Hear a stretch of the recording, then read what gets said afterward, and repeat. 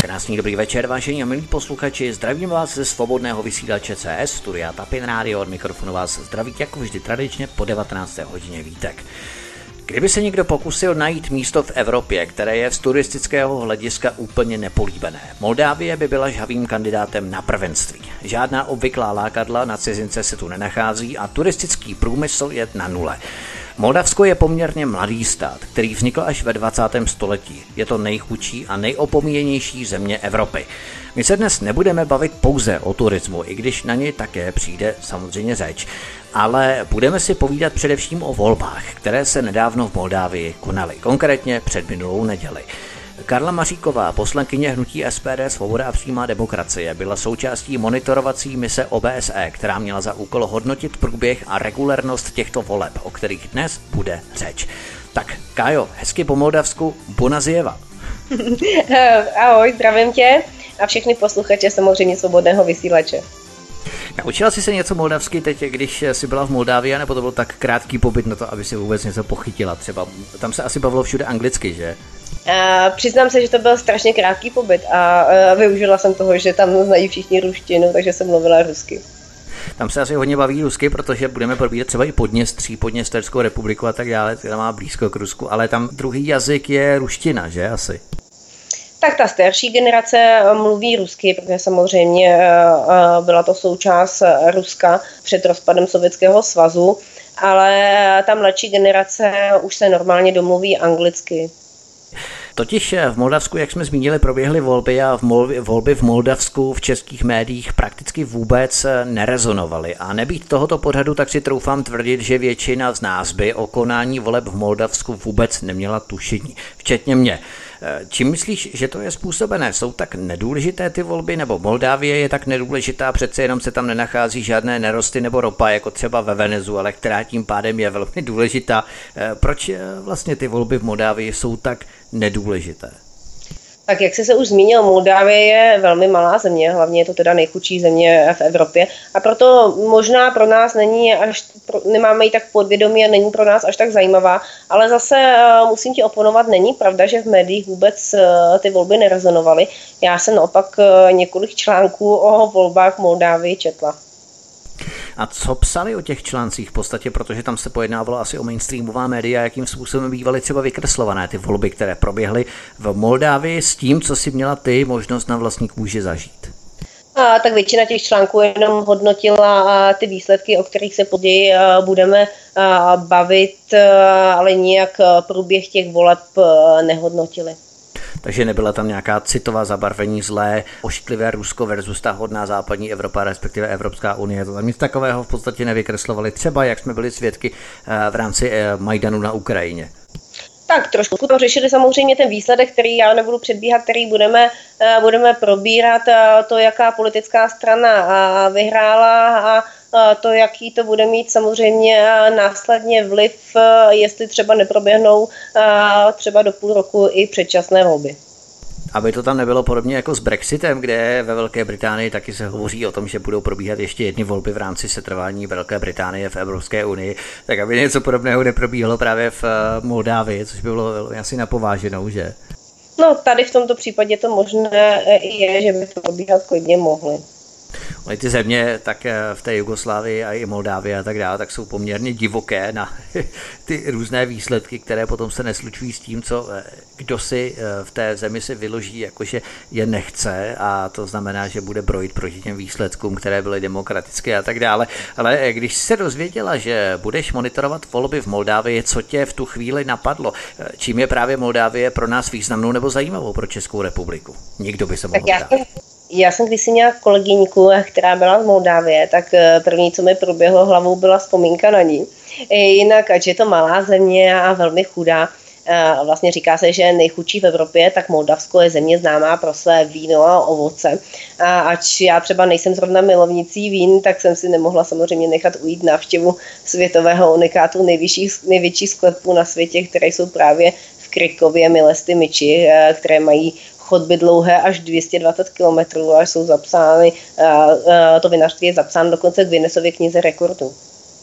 No na to se právě těším, to určitě probereme spolu, protože víno patří ke slastem, které si asi mnozí z nás dopřejí i tady v České republice, zejména tady lidé na Moravě, ale i v Čechách, kam se vozí takové to, říká se, že podřadnější víno z Moravy, ale moldavské víno samozřejmě patří těm kvalitním vínům, eh, které se potom distribuují i do celého světa, eh, tak to určitě si vychutnáme eh, tuto epizodu našeho vyprávění, ale položím ti takovou nepříjemnou možná otázku, někdo by totiž mohl namítat, proč se na tak nedůležitou zemi vyhazují peníze z českého státního rozpočtu, aby tam naši poslanci odjeli monitorovat volby. Jak by si se vypořádala s takovou docela nepříjemnou námitkou? Tak já si nemyslím, že jde ač, a, o tak nedůležitou zemi, protože je to evropská země, která po rozpadu Sovětského svazu prochází podobnými problémy jako vlastně všechny ty, e, ty e, posovětské země. A v letošních volbách se rozhodovalo, zda země bude v budoucích letech směřovat spíše k Evropě, k Evropské unii nebo k Rusku. Jo, a s vítězem vlastně socialistů se ale země přiklonila k té proruské orientaci, která podporuje prezidenta Igora Dodona. Ne, nedali si dost Moldavané na čas tím eh, rozhodováním, kam se budou přiklánět, protože přece jenom od rozpadu Sovětského svazu uplynulo při nejmenším 30 let, nebo téměř 30 let, 1991, eh, tak eh, by už se měli rozhodnout, kam se přikloní a není, teď je jedno, anebo neříkám, nebo nezdůraznuju, kam by to mělo být, ale prostě vybrat si tu cestu už je docela na čase. Tak já si myslím, oni si teďka tu cestu vybrali a byl to odraz toho, jaká ta situace v Moldávii je, jak se lidé a, tam ekonomicky mají. Proto a, se přiklonili k té, k té proruské orientaci. Zkusíme se vypravit k praktické části vašeho výjezdu do Moldávie nebo vašeho působení v Moldávii. E, když jste odjížděli do Moldavska, bylo nároč, byla náročná cesta tam? Tak my jsme nejdříve jeli ve středu do Vídně, jelikož nás čekalo zimní zasedání OBSE a poté jsme v pátek odlétali do Moldávie. Eh, cesta sama o sobě náročná nebyla, protože Moldávie není daleko a z Vídně to byl eh, přímý let, jen ve Vídni už bylo jaro a krásně bylo asi 10 stupňů a v Moldávii tam opět panovala zima, když nám říkali, že taky měli jaro, ale vrátilo se jim teda zimní počasí a bylo minus 7 stupňů. Panovaly třeba na letišti v Moldávii nějaké zvýšené bezpečnostní podmínky, opatření, myslím bezpečnostní rámy, třeba osobní prohlídky a tak dále, třeba jak jsme zvyklí na letiště v Ruzině tak ty bezpečnostní prohlídky eh, byly totožné, jako vidíte třeba u nás nebo eh, v jiných zemích. Asi to opatření nebylo takové jako třeba v Americe, ale standardní, jako je v Evropě. Jaké jste měli počasí, když eh, si zmiňovala, že jste měli minus 7 stupňů v Moldávii, ačkoliv v Rakousku bylo plus 10 stupňů, to znamená poměrně jaro. Eh, jak to bylo celou dobu nebo celý pobyt, po celý pobyt v Moldávii i v rámci ubytování v hotelu, ve kterém jste potom působili a ve kterém jste bydleli? Tak celý ten pobyt panovalo opravdu chladno, bylo asi těch minus, eh, minus 7 stupňů bylo zataženo, nebylo slunečno, ono pak i to prostředí působí trošku ponuře. A musím říct, že my jsme měli chladno tentokrát i na hotelu. Já vždycky strašně trpím, eh, že můžeme topit jenom klimatizací. A v tomhle případě opravdu ne, nebyla jiná cesta, bylo chladno strašně všude. Ale zase o srovnání, kdybych to srovnávala třeba s eh, Arménií, kdy třeba když jsme navštěvovali volební místnosti, tak v některých volebních místnostech eh, se vůbec netopilo, ač to byly školy tak aspoň zde teda musím říct Moldávy, tam měli v těch volebních místnostech příjemné prostředí. Takže to počasí tam bylo celkem eh, chladné a to se samozřejmě odrazilo i v podmínkách hotelu. Eh, to znamená, že si tam spala třeba v bundě a respektive v mikině, anebo to tak drsné nebylo. Zase ty podmínky tam nebyly tak spartiánské. Tak teď se mě pobavil. V bundě jsem teda nespala, samozřejmě se to klimatizaci musela zapnout úplně a na maximum, což se teda odrazilo právě na mém zdraví a, a proto jsem dneska trošku indisponovaná. jasně, jasně. Eh, co tě překvapilo, když jste přiletěli do Kišiněvu, moldavské metropole? Prý tam jezdí české trolejbusy, je to pravda? I když jste třeba trolejbusem se neprojížděli, ale je to pravda. Tak trolejbusy tam opravdu jezdí, sice jsme se s nimi neprojížděli, ale jsme normálně městskou dopravou autobusem. Je to země velmi prostá a chudá, což je vidět už na první pohled ale ve městě už najdete rychlé občerstvení, McDonald, obchodní centra, normálně naše modní, co vidíte běžně, uh, značkové obchody jako u nás. Lidé jsou velmi přátelští, čím, já bych řekla, že čím kolikrát chudší země, uh, tak uh, tím jsou ty lidé mnohem vstřícnější a přátelštější a bohostinnější. A jak na tebe vlastně působila moldavská metropole? Různé trhy s množstvím lidí, plné obchody, moderní budovy, nákupní třídy, široké bulváry, automobily západní provinencia, nebo je to směska eh, bez přílišného ekonomického rozvoje, který by eventuálně překryl eh, určité zanedbané nedostatky? Jak by se ten Kišiněv popsala? V podstatě, ty už si to tady načala, kdybys to měla rozvést. Tak, najdeš zde moderní drahé automobily, kde mají eh, drahé telefony, jsou moderně oblečeny a na druhou stranu eh, člověk vidí vybydlené domy. Eh, ten vliv toho západu je ovlivnil v hodnotách. Dávají přednost tomu, co mohou dát na první pohled na obdiv, místo aby třeba investovali do svého vlastního bydlení. Může to být tak trochu i tím, že si prostě neprošli nějakým tím vývojem a vzhledem k rozpadu Sovětského svazu se veškeré investice v zemi zastavily a oni asi nemohli postupovat dál a nyní přeskočili jako určitou etapu života. Protože se chtějí přiblížit západu bez toho, aniž by si prošli tím postupným vývojem, který jsme třeba absolvovali my tady eh, v České republice. Asi tak nějak, ano, a chtějí prostě dát eh, na obdiv, že něco mají a samozřejmě eh, to je vidět třeba, že na oblečení telefonu nebo automobilu. Hmm, to je takové to pozlátko, společenská prestiž, kdy mobilní telefon a drahé auto představuje jakousi společenskou prestiž toho člověka, kterou má. Jak jsme oba zmínili, průmyslový potenciál Moldávie je v podstatě nulový. Jak se tato skutečnost odráží na chudobě obyvatel? Pokud bys to měla porovnat třeba s Arménií, kterou jsi nedávno také naštívila, zkuste nám o tom trochu rozhovořit. Jak lidé v Moldavsku vlastně žijí? Ty jsi to zmínila, že jsou chudší. Co to znamená? A, tak Arménie je mnohem chudší země než Moldávie. Nicméně, jak jsem se zmiňovala, Moldávie je státem s nálepkou nejchudší země Evropy a s vysokou mírou emigrace. Co se týká průmyslu a potenciálu, potenciálu tak země Eh, známá pro své vynika, je známá, jak jsem říkala, pro své vynikající víno. Problém však je, že eh, velké, velké vinařské podniky v Moldávii, kterých je asi 200 eh, firm a dalších tisíce drobných vinařů, je, jejich problém je zastaralá technologie a problémy s odbytem. Protože po zablokování ruských trhů ze strany ruských úřadů z politicko-národních důvodů se Moldávie snaží nahradit odbytové trhy v západní a střední Evropě a také v USA, dokonce i v Japonsku.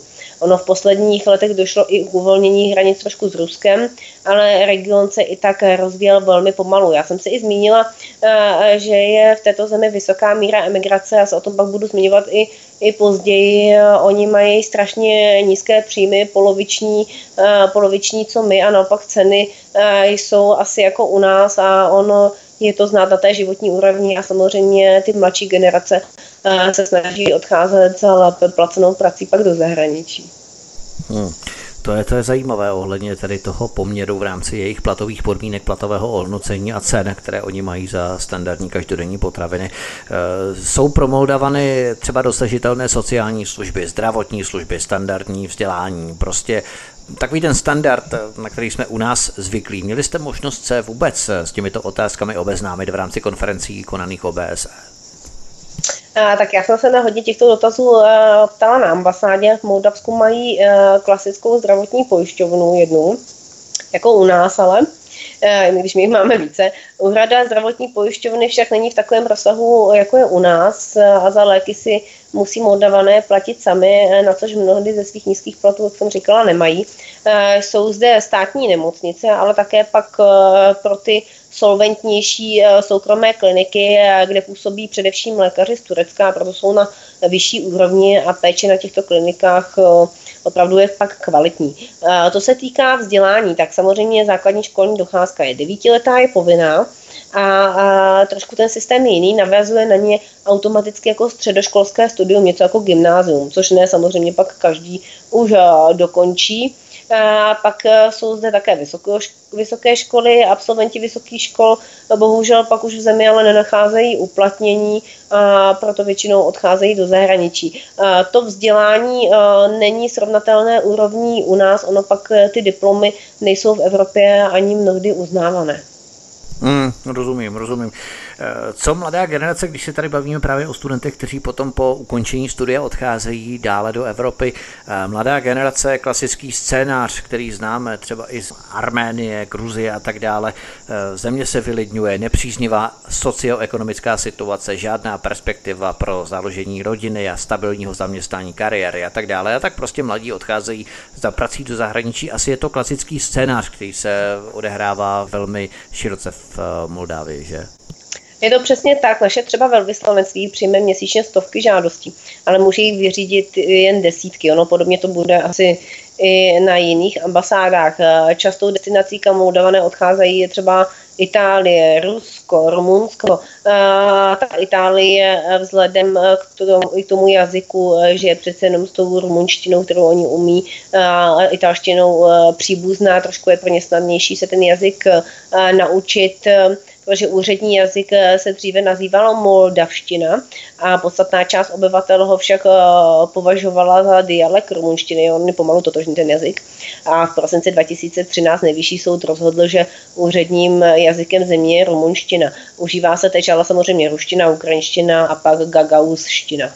Ono je fakt, že Moldavané jsou v podstatě etničtí Rumuni, když to takto vezmeme, o tom se ještě o tom budeme bavit stále.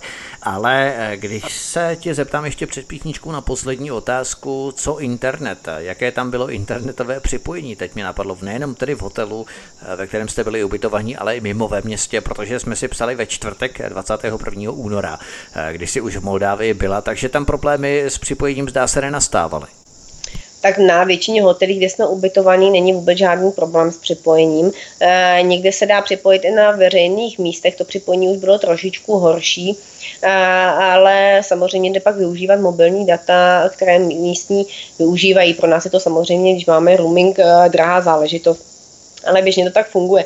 Ale pořád to, myslím, nemá třeba na takovou Gruzii, když jsme vystoupali, já nevím, nad tisíc metrů uh, nad mořem někam do hor, nebo 2000 metrů nad mořem jsme byli a tam v kapličce byla Wi-Fi a perfektně fungovala, tak zase takové připojení v Moldavii asi nenajdete. To, je, to je úplně úžasné, jak jsme se právě bavili minulé ohledně Gruzie, když jsme spolu měli pořád, tak, tak tam jsem byl docela v šoku, že právě takovéto situace nastávaly, že jsem si dělal legraci, že i v jeskyních, ve kterých jste potom byli a které jste naštívili v Gruzii, tak jestli tam nebylo internetové připojení. Tak Gruzie už je úplně na jiné úrovni, no, je to znát eh, než ta Moldávie. Ale eh, vypravili nám, že v Moldávii třeba měli před lety také nějaký uh, projekt, a, uh, který někdo jim vybudoval, nevím teďka, odkud to bylo, jestli z Evropské unie nebo nějaká země, jim vybudovala uh, veřejnou Wi-Fi někde a dneska už to tam nefunguje. Jo. Tam jde spíš o to, že nevím, jestli prostě projekt skončil, tak už o to neumí pečovat, nebo jim to jedno, těžko říct. Tak doufujeme, že milí posluchači máte vy dobré internetové připojení, ať jste třeba v Moldávii nás posloucháte, což tedy nemyslím, ale zkuste nám třeba napsat, zkuste mi napsat, jestli jste třeba v Moldávii, anebo jste tam byli. Ale pokud jste třeba i v České republice, tak doufám, že máte stále dobré internetové připojení na to, abyste mohli poslouchat další uh, vysílání svobodného vysílače, tak která vás zdraví Vítek a naším hostem dnes je Karla Maříková, poslankyně z Hnutí Svoboda a přímá demokracie, která v rámci OBSE naštívila Moldávii v rámci Foler, které se konaly před minulou neděli. Od mikrofonu vás zdraví Vítek, přeju vám příjemný večer, písnička je na cestě, pod ní budeme pokračovat dál. Hezký večer. Karla Maříková, poslankyně Hnutí Svoboda a přímá demokracie, je stále naším dnešním hostem na svobodném vysílači v hovorech u Kláposnice, ze kterých vás zdraví Vítek. A my pokračujeme dále v našem povídání o Moldávii. Jakou měnou se platí v Moldávii a jaký je vlastně kurz v poměru české koruně? tak je to moldavský leu a kurz je, že jeden moldavský leu je 1,31 halířů našich. Hmm, takže to není moc eh, jako jiné než v rámci České koruny. Eh, napadlo mě, my jsme to tu částečně řešili, ale kdybyste to měla trošku rozvést v rámci potravin, pokud si tam samozřejmě něco kupovala. V jaké cenové relaci se pohybují potraviny v Moldávii? Nebo ceny výjdou zhruba na stejno jako u nás, jak jsi zmínila? Eh, co to znamená v Moldávii v kvalita potravin i co si můžeš koupit, co si můžeš pořídit v rámci supermarketu anebo právě v rámci trhů? Tak potraviny jsou zde drahé asi jako u nás, ale jak jsem se zmiňovala, ty příjmy jsou uh, poloviční. Uh, jiné v obchodech najdete běžně dneska už zboží uh, jako u nás, protože jsou tu moderní supermarkety. Ono z evropských uh, posovětských republik se na Moldávii pak toho sovětského imperia podepsal uh, nejtvrději. Hrubý domácí produkt Moldávie klesl o celou dekádu až do roku 99, kdy se zastavil na úrovni 38% roku 1990 a na konci eh, vlastně tisíciletí více než polovina Moldava nemusela být s částkou, eh, která v přepočtu nedosahovala ani dolar denně spotřeba masa, uzenin, mléka a mlečných výrobků a dalších potravin na obyvatele poklesla za posledních deset let skoro o polovinu. Pouze u brambor vlastně zůstala stejná. A proti moldavskému venkova, venkovanovi je český příjemce sociální podporu úplně zámožný a bohatý člověk. A s tím, jak se vlastně Moskva ekonomicky vypořádala s tím pádem rublu eh, v roce 98, tak nakonec dorazil vlastně toužebně očekávaný ekonomický růst i do té uh, Moldávie. no v zemi, která neměla na začátku 90. let ani dolar zahraničního dluhu, tak dneska zase naopak představují závazky vůči mezinárodnímu, mezinárodním institucím a dalším zahraničním věřitelům, včetně ruského Gazpromu asi 120% HDP.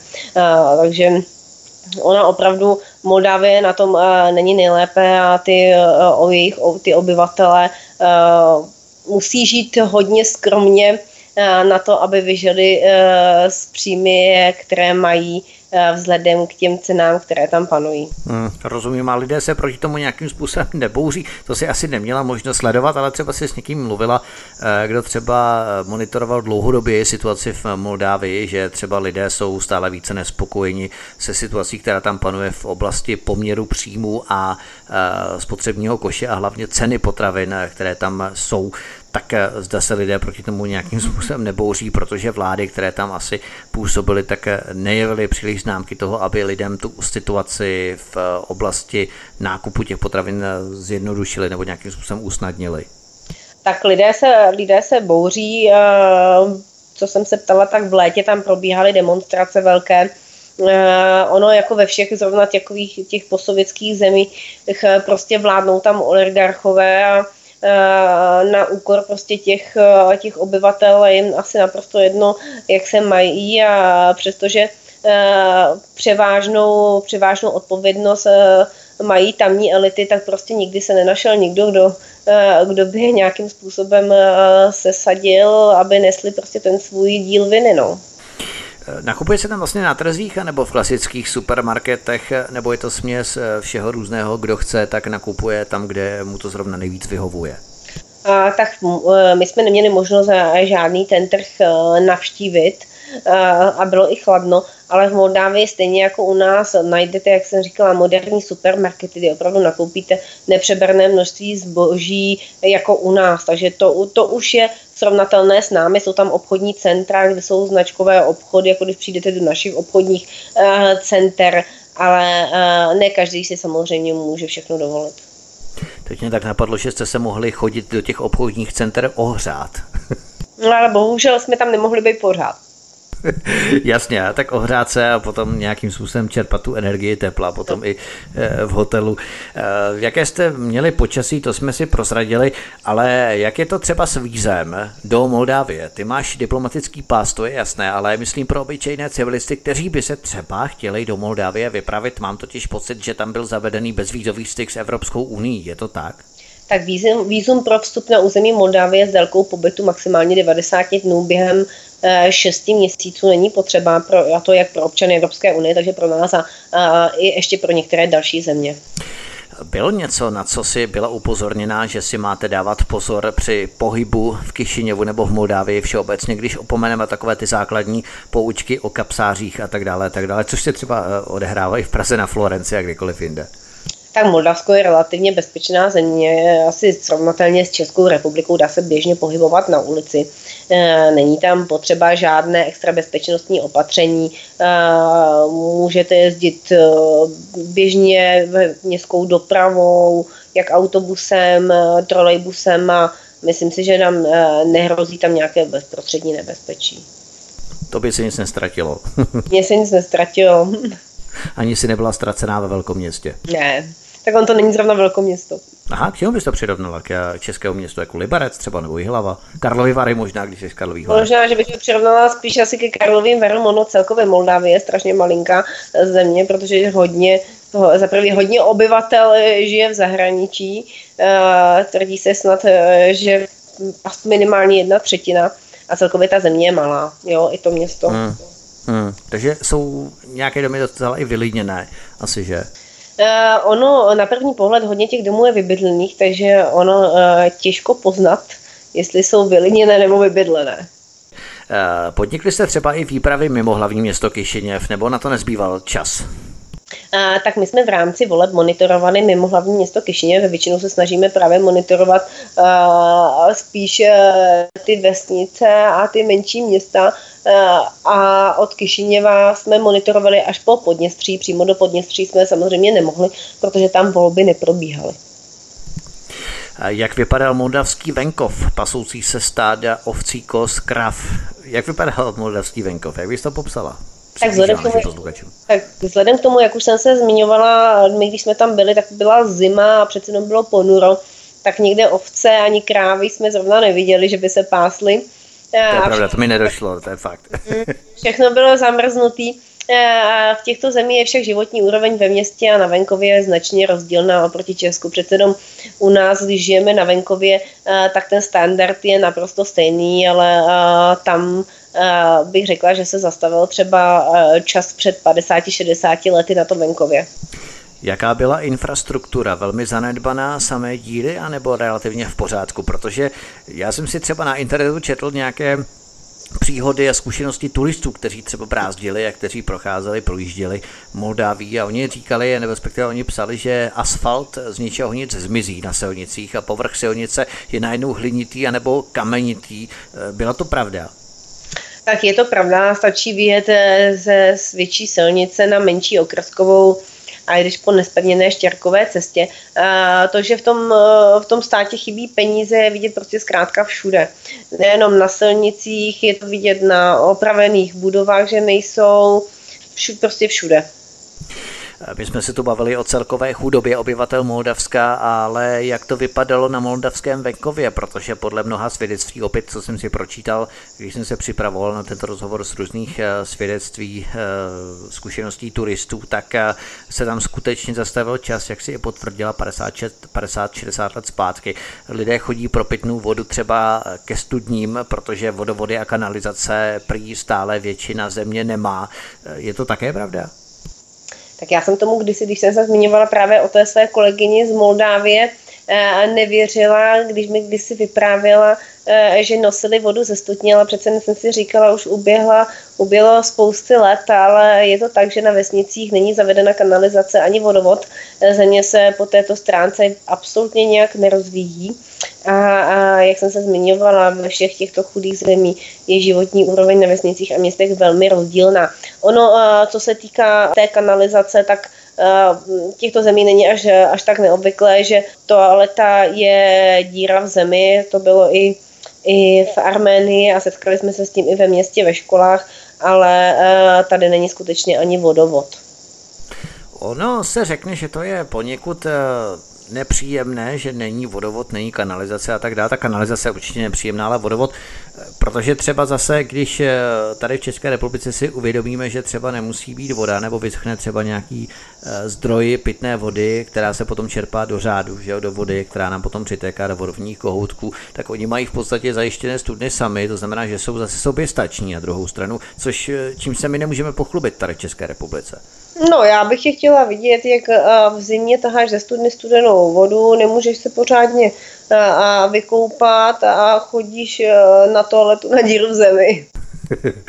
to je pravda asi. Já tím, že, tím, že ty toalety takové mám vyzkoušené z těchto zemí, protože v rámci toho monitoringu, když samozřejmě na, eh, navštěvujeme ty školy, oni jiné toalety, eh, eh, jak turecké, anebo právě díry v zemi, jsme se setkali, neměli, tak musím říct, že my jsme opravdu zvyklí na komfort a ne vždycky to je příjemný, protože ne vždycky jsou Úplně jako... Vtipné, nagelovaní poslanci v oblecích teď musí na nějakou tu díru v zemi, to, to je, musí být opravdu skvělý.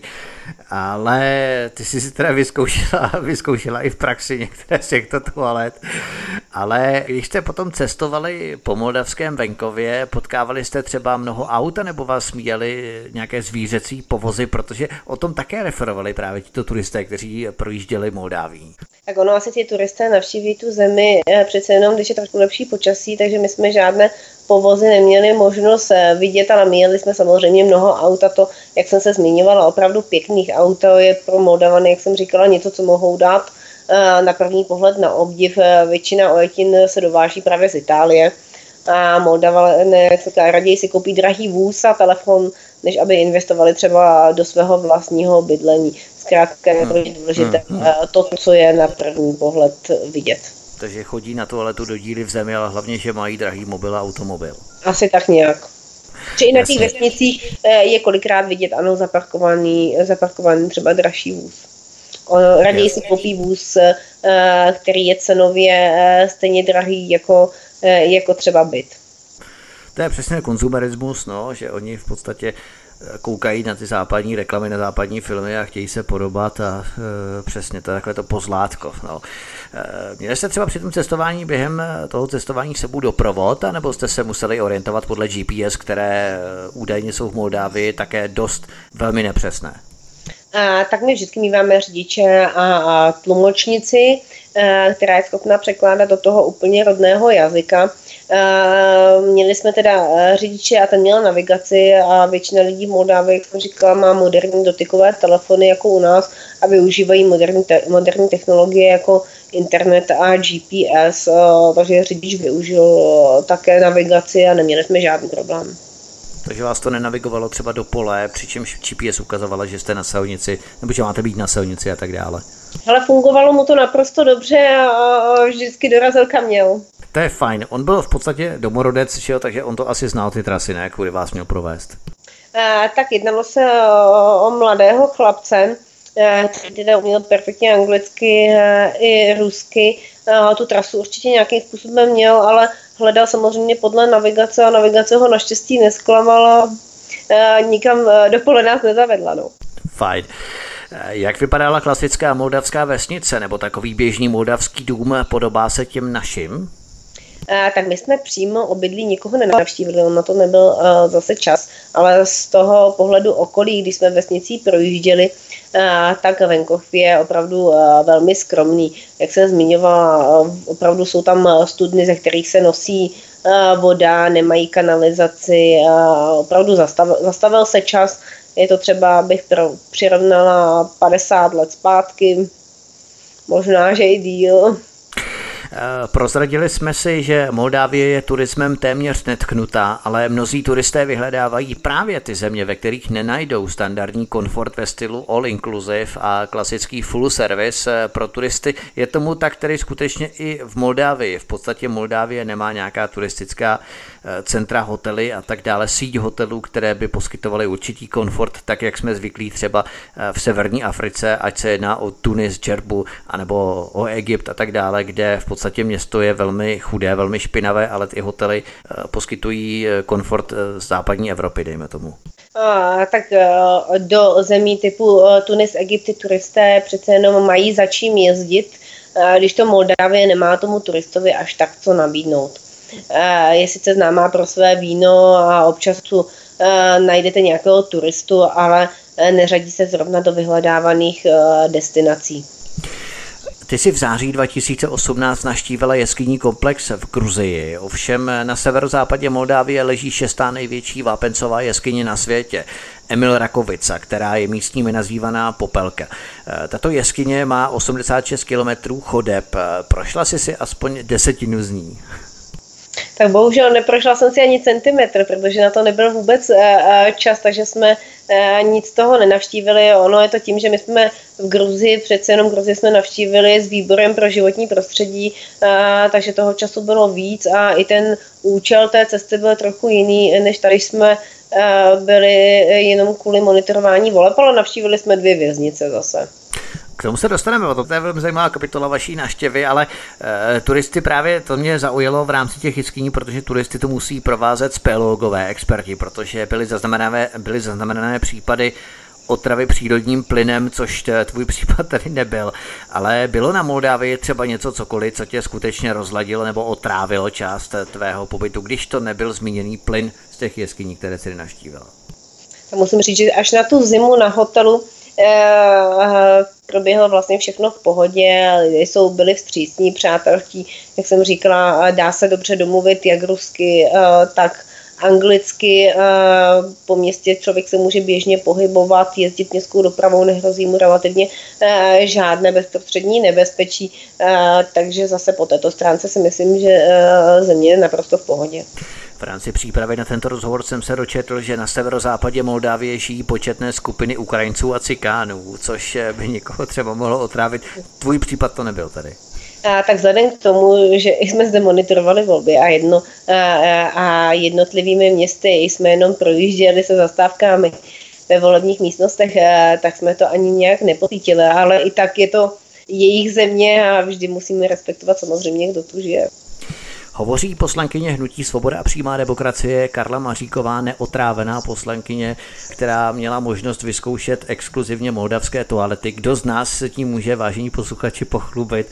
Každopádně svobodný vysílač je vaším společníkem od mikrofonu vás zdraví vítek a my po výsničce budeme pokračovat dále v našem rozhovoru a dostaneme se už konečně k těm volbám, které proběhly v Moldávii. Hezký večer. Karla Maříková, poslankyně z Hnutí Svoboda a přímá demokracie, je hostem stále u nás na svobodném vysílači od mikrofonu vás zdraví Vítek a my pokračujeme dále v našem rozhovoru o Moldávii. Eh, jací obyvatele nebo jaké skupiny vlastně žijí v Moldávii? Je to etnicky homogenní země nebo se to vyskytuje řada různých etnik žijících vedle sebe v jakémsi míru a pospolitosti, bychom mohli říci?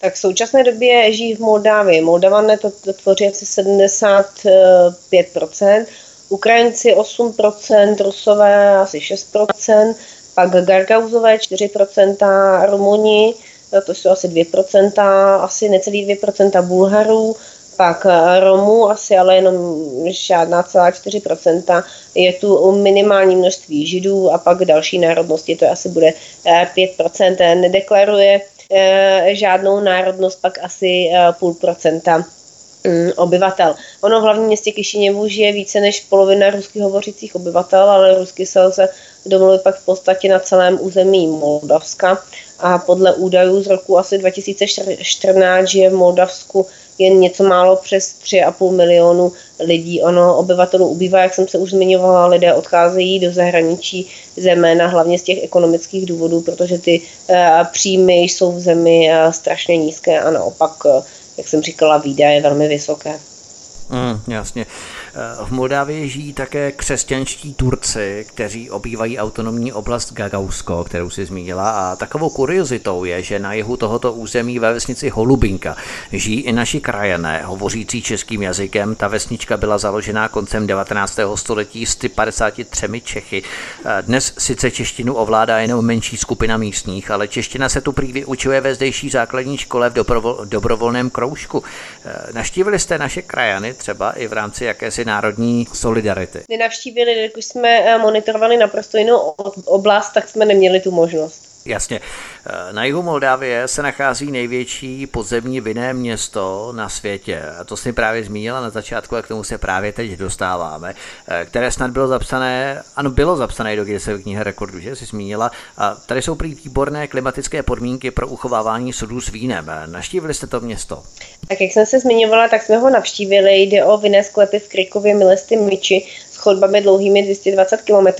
A takovou zajímavostí je, že tu mají vinou banku, kde je možné si pronajmout box, jestli se tomu dá říkat teda box, a koupit si jejich vína, které zde pak můžete mít uložené a samozřejmě tím, jak stárnou, tak nabývají na hodnotě. Jinak těmi chodbami se samozřejmě projíždí při té prohlídce, nejsou, není možno všechny auty, a vždy jsou tam zastávky, kde probíhá ta prohlídka. A na konci je pak možná ochutnávka vín. To je úžasné, protože to je taková kuriozita, ta ulice, nebo ty ulice jsou 7 metrů široké, 3 metry vysoké, mm-hmm. takže tady můžou jezdit i nákladáky, dokonce s vínem. Eh, celkem to podzemní vinné město měří 220 km, jak si zmínila, stále se hloubí vlastně další chodby, že tam? Eh, tak ono, my jsme se ptali vlastně, co tam bylo původně. Údajně se tam doloval kámen, takhle to původně eh, ty chodby vznikly. Nebyly to původně sklepy, eh, sklepy pro víno. A opravdu ty chodby jsou takto široké a myslím si, že to stojí za to se podívat. Třeba i pan prezident Putin tam slavil narozeniny. Možná ta šířka těch chodeb po konzumaci vína je tak akorát. No, když někdo přebere a skonzumuje ho hodně, tak Určitě. Těch 7 metrů šířky je tak možná pro něj možná tak akorát.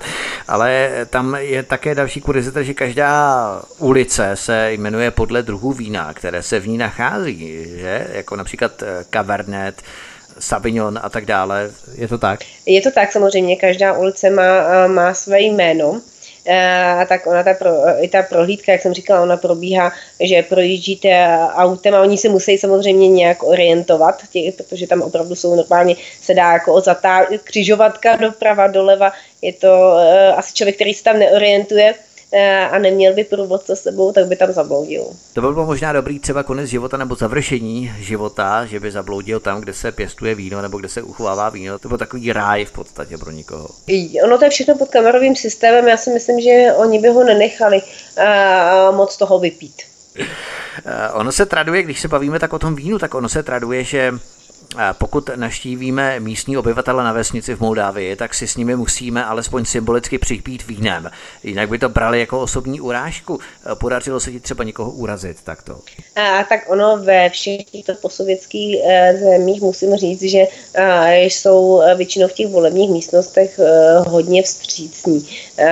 Ale ono je takové pravidlo, že pozorovatelé nesmí pít alkohol, a musím říct, že naštěstí, naštěstí nám nikdo nic nenabídl a tak jsme nikoho ani nemohli urazit.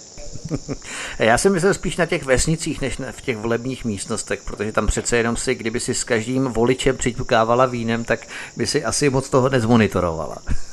A tak my jsme měli opravdu strašně málo času, a takže jsme se na těch vesnicích nějak jako e, extra nestavili, byli jsme jenom v těch volebních místnostech a e, jak jsem se zmiňovala, navštívili jsme e, v rámci voleb i e, dvě věznice a to nám zabralo přece jenom trošku víc času, než jsme počítali. Teď mě napadlo, jestli tam mají třeba protialkoholní léčebny v Moldávii. tak to mě nenapadlo se zeptat. tak třeba příště. Eh, mimochodem na východě za řekou Dněstr, když trošku zvážníme, tak na východě za řekou Dněstr eh, jsou zase většinou rusky mluvící občané bývalého Sovětského svazu. Jak je to vlastně s tou podněsterskou Moldavskou republikou? To je autonomní území nebo bojují za svou nezávislost? Co to vlastně eh, je za území? Mají svoji armádu, policii, parlament vlajku nebo měnu? Jak to s nimi vlastně je?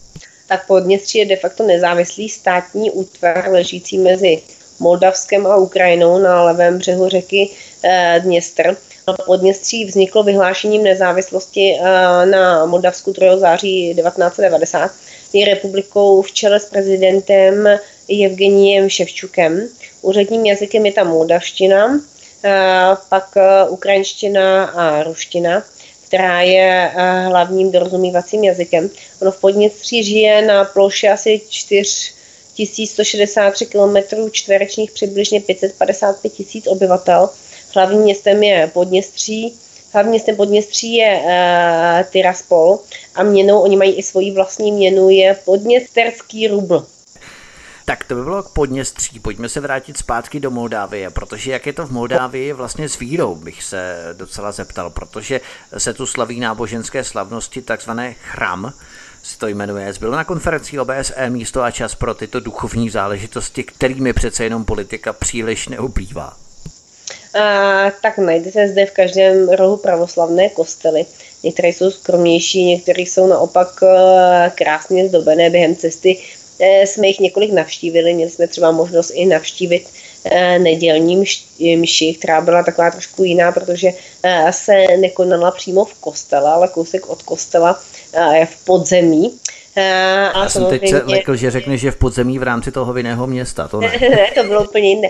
Ale samozřejmě lidé tu jsou z větší části věřící. Těch nevěřící je úplně minimum. Jasně, a ta myše probíhala jakým způsobem? V podstatě to bylo asi velmi brzo ráno, protože vy jste potom museli rovnou z té mše jet do volebních místností asi, že? A my jsme samozřejmě projížděli, když projíždíme z volebních místností, tak tady jsme se cestou zastavili, protože tam byl ten kostel a s okolností před tím kostelem a nás upozornili na tom, že probíhá tam, nebylo by to ani vidět, byl jen takový vstup do země, že tam probíhá mše, je to jako u nás, když jdete do kostela, kněz tam vede mši, takže úplně, úplně stejně, akorát samozřejmě to má trošku jinou atmosféru v tom prostředí. Řekněme uvolněnější, emotivnější, anebo v podstatě tam seděli, zpívalo se a tak dále, a tak dále, hrálo se na varhany. Trošku fanatičtější spíš. To bylo samozřejmě znát podle intonace, že, toho kněze. Tak ono to je dáno i tím prostředím no, v podzemí, že tam, uh, že tam ta tma, jsou tam jenom ty svíčky a to přece jenom je, bylo to na vesnici, takže uh, opravdu i to prostředí uh, bylo dost chudé, takže uh, i to určitě uh, zapůsobilo. A ty jsi se nenechala přesvědčit, zůstala si stále věrnou ateistkou. No, ano. Eh, jací vlastně jsou Moldavané, když se to bavíme o té víře, tak eh, zkusme to trošku pojmout charakterově. Eh, jedná se v podstatě o etnické Rumuny, jak jsme si zmínili, ale myslím teď charakterově vstřícní, přátelští, a nebo si od vás drželi chladný odstup. Jak by si je popsala? Přece jenom tam na ty turisty asi nejsou příliš zvyklí. A tak lidé jsou uh, přátelský. Oni určitě oceňují i to, že člověk se domluví uh, rusky, což oni umí. A jinak jako ve všech těch, jak jsem se zmiňovala, posovětských zemích eh, jsou ti lidé velmi přátelští a, a vstřícní. A musím říct, že i ta, i ta mladá generace. S kolika Moldavany jste se měli příležitost vlastně setkat? Myslím nejenom programově, plánovaně, ale třeba i spontánně, když jste se vydali mimo to sterilní prostory hotelu pro návštěvníky tak setkali jsme se samozřejmě s lidmi ve volebních místnostech a pak e, s těma komisema, takže s pár jsme se jich určitě setkali a, a lidé jsou byli naprosto příjemní, chovali se bezprostředně. Prezident Miloš Zeman sice naštívil Moldávii 20. a 21. května 2014 nebo expremiér Bohuslav Sobotka 9. 10. června 2016, ale znají Moldavané Českou republiku nebo případně Československo reagovali nějak pozitivně, když se dozvěděli, odkud vlastně že jsi?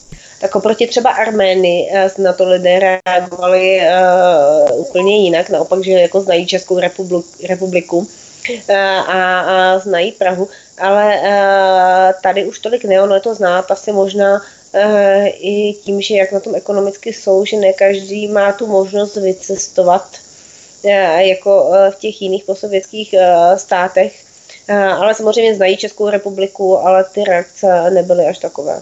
Aha, a máme v Moldávii vlastně českou ambasádu. Kdo je vlastně českým velvyslancem v Moldávii?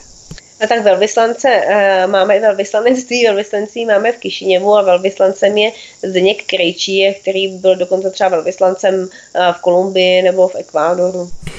A setkali jste se se Zdenkem Krejčím, jak na vás působil, pokud jste se s ním setkali samozřejmě? Ano, setkali jsme se, vždy se snažíme teda s velvyslancem a pokud je k dispozici uh, setkat, aby nám uh, něco o té zemi uh, řekl, jaké má zkušenosti. A je to opravdu velmi příjemný a skromný člověk, měl jsme možnost se setkat i s jeho ženou. Vyprávěl nám nejen o Moldávii, ale o zemí, kde jako velvyslanec působil a o svých zkušenostech. Moldávie totiž eh, sousedí také s Rumunskem. Eh, jaký je vzájemný vztah obou zemí? Protože sahá od totální adorace po úplné odmítání, od eh, sjednocovacích námluv až po hořké výčitky v rámci Rumunska. Jak je to není? V jakém vztahu jsou dnes Rumuni s Moldavany? No, Moldavskem. Tak Rumunsko spojuje s Moldavskou republikou jak společná historie, jazyk, kulturní a duchovní dědictví a po získání nezávislosti Moldávie i vlastně intenzivní bilaterární relaci. Ono větší část dnešní Moldávie byla do roku 1940 součástí eh, Rumunska, respektive východní součástí historického rumunského moldavského knížectví. Rumunsko uznalo v roce 1991 samostatné, samostatnou Moldávii jako první stát na světě. Ono v rámci Evropské unie je také nejsilnějším a nejviditelnějším podporovatelem moldavského mm, eurointegračního úsilí a když jeho aktivita je v některých případech i kontraproduktivní, tak Rumunsko je také spolu s Francií spolu, eh, spolu předsednickou zemí skupiny přátel eh, Moldavska v Evropské unii. Takže ono, ono i mnoho, eh, mnoho, mnoho obyvatel má rumunský, rumunský pás, naopak Rumunsko poskytuje značný počet stipendií až po řadu let umožňuje získat, jak jsem říkala, rumunské občanství Moldavanům, kteří Eh, kteří mohli dokázat, že jejich eh, předci až do dokonce třetí generace zpět byli rumunskými občany a eh, rumunský, jak jsem říká, rumunské pasy, také rumunskými pasy disponuje možná až milion občanů. Ono dokonce jsme se bavili o tom, že možná, ale je to tak hypoteticky, uh, dojde k tomu, že třeba by se jednou Rumunsko Eh, spojilo s Moldáví, protože Moldávie eh, je na tom, jak jsem se zmiňovala, opravdu špatně a Rumunsko se snaží trošku zvedat. Ano, rozumím, ale v podstatě, když se sama Moldávie rozděluje na Moldavsko a Podněstří, tak eh, nevím, jestli by zrovna Moldávie jako taková měla chuť se spojovat právě s Rumunskem. Tam samozřejmě hraje roli Evropská unie, kdy Rumunsko je členem Evropské unie, Moldavsko ne, ale pokud by se třeba i připojilo někdy v budoucnu, pokud tady budou chtít. Ono to bude dáno tím, že až bude mít většina těch obyvatel rumunské občanství, tak otázka je, jaká nastane situace.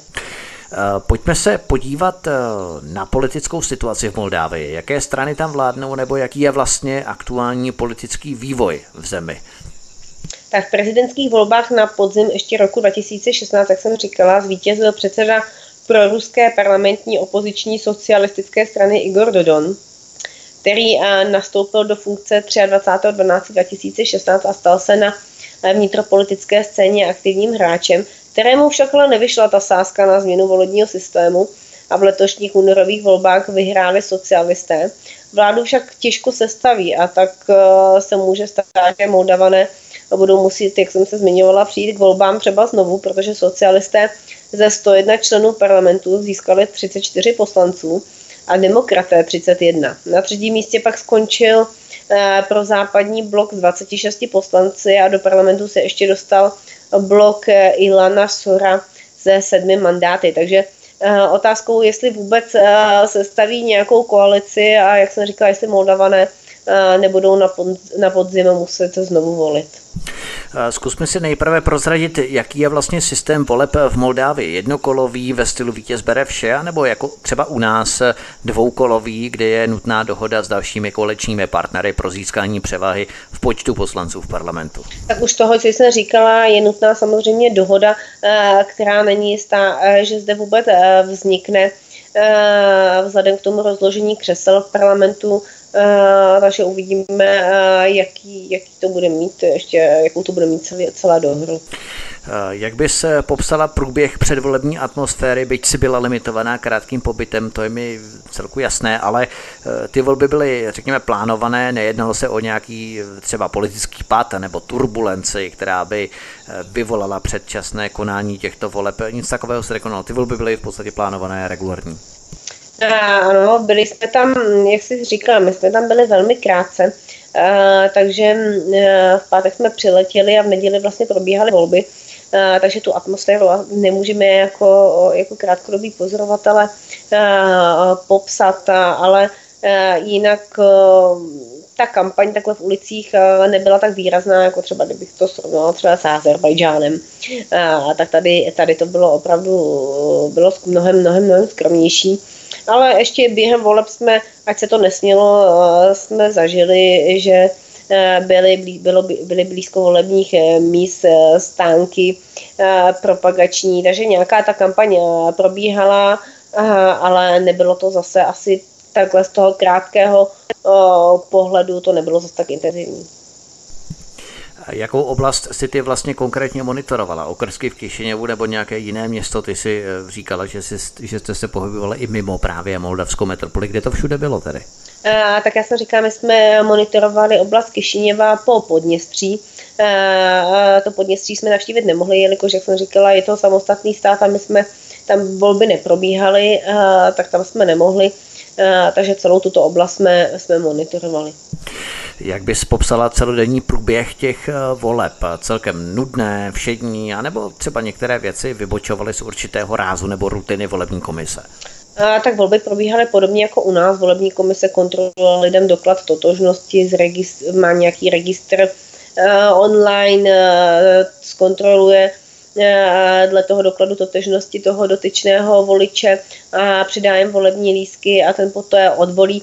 Musím říct, že uh, volby tady probíhaly naprosto v pohodě a nebyly žádné komplikace. A vy, když vlastně sedíte vedle těch členů volební komise, vím, jak si nakukujete přes rameno, ne? nebo jak probíhá ten váš monitoring? A, tak voleb? my nesedíme, ono v každé zemi je to jinak, tady právě bylo možnost i nahlížet jim teda do těch jejich dokumentů. A tady to bylo trošku, a, trošku jiné, ale samozřejmě my jsme i u toho otevření půl hodiny předem, než se ty volební místnosti otvírají, kontrolujeme, jestli jsou třeba zapečitěné, Eh, zapečetěné urny, eh, což ne všude třeba eh, vždycky úplně je. Pak samozřejmě, jestli jsou všechny členové, členové komisí tam hm, a jak to tam probíhá celkově, jestli kontrolují právě ty doklady totožnosti u těch lidí, jestli jim vydávají volební lísky. A jak vlastně Moldavané samotní berou vážně ty samotné volby? Tvořily se dlouhé fronty během celého dne, nebo Moldavané neberou volby zas tak až příliš vážně? Vlastně kolik lidí volilo ze 100% těch oprávněných voličů? Já se přiznám, že teď nevím přesně, kolik procent volilo, ale, uh, ale berou určitě uh, ty volby vážněji, jak my. A to samozřejmě je dáno, jak jsem říkala, i tou situací, která tam je, uh, že lidé chtěli prostě nějakou změnu. No. A ta změna myslí, že nastala s příchodem socialisty do Dona? Já si myslím, že dokud tam budou vládnout oligarchové, tak asi k žádné změně nedojde. To možná indikuje i určitou situaci u nás. No, tak my na tom ještě nejsme tak, ale záleží, jak samozřejmě jak se další volby u nás v České republice budou vyvíjet. To si ještě možná počkáme, i když určitým latmusovým papírkem budou právě nadcházející eurovolby. Ty jsi vlastně zmínila, Kájo, že jsi se ještě ocitla nepřímo ve vězení, ale měla si možnost nahlédnout do moldavského vězení. Jak to probíhalo a v jaké vězení to vůbec bylo? Tak my jsme navštívili dvě vězení. Já se přiznám, že mm, nevěděli jsme, pak jsme sami zjišťovali, jak se vůbec jmenuje, protože to není jako u nás, že by si přijela, byla tam cedule, eh, ona je tam napsaná, ale bohužel jejich řečí, takže, eh, takže to nepřečteme, ale eh, vězení naše je oproti moldavskému Hilton. A to řeknu na rovinu, navštívili jsme dvě, jedno bylo pro lehčí, samozřejmě pro lehčí tresty, to druhé bylo to nejvyšší stupeň, samozřejmě tomu dodávalo i to ponuré počasí a takovou trošku jako nepříjemnou atmosféru. A jak vlastně vypadalo, když popíše interiér toho vězení, kopky, kde úpěli vězni e, na zemi, a nebo, nebo to nebylo tak drastické? Nebo jak, to, jak, to, jak to popsala? Nemohli, nemohli navštívit jednotlivé celé, my jsme tam navštívili volební místnost, ale tím vězením jsme si, tím vězením jsme prošli. Samozřejmě je to daný úrovní i tou zemi, že i o vozovkách slušní obyvatele Eh, se mají špatně, takže těžko země bude investovat eh, peníze do věznic, když tam má být někdo za trest. Ale samozřejmě eh, podlaha, prostě holý beton, Dřevěné pryční místo postaví? Nebo chladno, je to asi, já bych přirovnala, kdybys nechal budovu a 50 let si ji neopravoval, takže asi tak nějak to, tak nějak to tam vypadá. Na druhou stranu my jsme se bavili, jakou mají Eh, kolik, kolik těch vězňů procentuálně eh, se jim vrací zpátky, je to asi 70%, takže když někdo namítá, že to vězení nemá být, eh, nemá být za odměnu a proto je třeba dobře tak, jak se mají, tak ono na druhou stranu, pak když se nad tím takhle člověk zamyslí, tak to ten, ten výsledek nemá, že jo? protože když vezmeme naše vězení, že my máme recidivu taky 70 asi procent, 80, a oni taky a u nich je to skutečně jako úplně, úplně úplně něco jiného, je to opravdu, opravdu trest, třeba by někdo mohl říct, tak mnohdy se může stát, že když tam ten člověk jde za nějaký lehčí trest, že se tam třeba ještě může eh, víc zkazy, když se bavíme o takových těch třeba krádežích a, a drobných, eh, drobných, tre, drobných trestech, protože se taky zmiňovali, že mají samozřejmě stejné problémy jako my s drogovou problematikou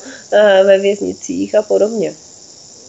Ano, já ti rozumím. To znamená, že ty v podstatě narazíš na to, že ať jsou vězení dobrá, anebo horší v rámci podmínek vězňů, tak v podstatě na tu recidivu to nemá v podstatě žádný vliv. Že v obou typech vězení, ať je to vězení dobré, jako třeba u nás, nebo lepší, není jako úplně luxus, jo, samozřejmě to nikdo nemůže říct, ale je lepší u nás a u nich horší, tak v podstatě ta recidiva na to, to nemá vůbec žádný vliv. Je to tak, no, že uh, asi já jsem teda nikdy, nikdy nebyla zrovna zastáncem uh, toho, že když někde říkali, že by měly být ty vězení, že ty vězni by spíš měli jsme je učit, že by měli mít jako lepší život, tak většinou společnost, společnost namítá to, že tam ten vězení je za trest, ale asi bylo možná dobré se zamyslet nad tím, jaký ten trest ten člověk má, že opravdu asi za nějaké auto, nehody, krádeže, neplacení alimentů se může stát, že v tom vězení se ten odsouzený člověk třeba ještě víc kazí.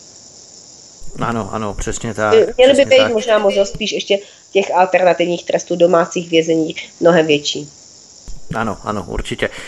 V rámci toho moldavského vězení, jak jste se k tomu vůbec dostali? Vám to někdo nabídl, že byste tam eventuálně mohli naštívit ta vězení, protože v jiných zemích jste tohle neabsolvovali přece jenom?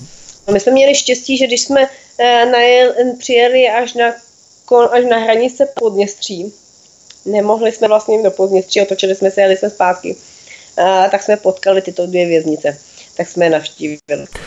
To nebyl problém v podstatě tam přijít a říct, že jste delegace, která monitoruje volby a že byste třeba, když jste viděli ty věznice, tak byste tam mohli, mohli rovnou zavítat. To nebyl problém. Tak eh, v té, kdy byly ty nižší tresty, tam s tím problém nebyl, vůbec žádný. Eh, v té druhé jsme trošku problém eh, měli, ale nemyslím si, že by to byl asi problém, co se týká vyloženě, že tam chceme navštívit, ale Oni měli celkově problém, eh, že tam vůbec nechce jít asi jako někdo eh, podívat, eh, jak se tam vůbec jako volí. Úplně to tam nebylo asi košer. Protože nejdříve nám tvrdili, že už tam někdo z OBS byl. Když jsme po nich chtěli teda kdo tam byl jména, tak nám je nebyli schopni říct, tak nakonec nás pustili, aby jsme se, eh, aby jsme se podívali. Pak nám tvrdili, že už všichni odvolili, eh, pak jsme chtěli teda nějaký doklad, že už teda všichni odvolili, jak nám dá nějaký, nějaký protokol, tak pak najednou začali vězni chodit volit. To je takový zvláštní, no. Tak blížíme se k závěru našeho rozhovoru. Položím ti poslední otázku, Kájo. Jaký jsi si z celého pobytu Moldávii odnesla dojem nejenom co se týče politické situace, co jsme tu zevrubně probrali, ale třeba i životní úrovně obyvatel, protože Moldávie od nás není tak příliš vzdálenou zemí. A jaký na tebe udělala dojem na rovinu bez politické korektnosti, bez příkrav? Tak já jsem vždycky šťastná, že se vracím eh, domů a jinak tomu nebylo teda přiznám se ani z Moldávie ale eh, myslím, že my bychom měli být rádi a vážit si toho, jak se tady máme a na jaké životní úrovni eh, žijeme, protože Eh, zrovna Moldávie je jedna z těch, z těch zemí, kde, kde lidé se nemají úplně, úplně tak, tak dobře a asi by nám mohli závidět. Hovoří poslankyně Hnutí Svoboda a přímá demokracie Karla Maříková, která v rámci OBSE se účastnila komise, která monitorovala volby v Moldávii. My ti, Kájo, děkujeme za tvoje povídání o Moldávii a budeme se těšit třeba i na další eh, volby, kterých se účastníš v rámci komise OBSE, které budeš monitorovat. Eh, blíží se volby v Makedonii a také na Ukrajině, takže eh, to bude naše posluchači jistě velmi zajímat a budeme se těšit na tvoje povídání opět. Tak děkuji za pozvání a budu se těšit na slyšenou. Tento i ostatní pořady si můžete, milí posluchači, stáhnout nejenom v našem rozhlasovém archivu na stránkách svobodný pomočka vysílač.cz, ale můžete naštívit rovnou náš YouTubeový kanál, kde můžete začít odebírat náš kanál a nezmeškat tak žádné pořady z našeho vysílání. Na YouTube samozřejmě nás musíte poslouchat online. A v rámci archivu svobodného vysílače si můžete stáhnout i naše pořady v MP3 formátu a poslouchat nás kdykoliv offline, i třeba na vašem přehrávači. Ať se jedná o mobilní telefon, přehrávač MP3 a tak dále a tak dále. To by bylo všechno pro dnešní povídání. Zdraví vás Vítek od mikrofonu, přeji vám příjemný zbytek dnešního večera při poslechu dalších pořadů svobodného vysílače a já se budu s vámi těšit opět příště naslyšenou. Hezký večer.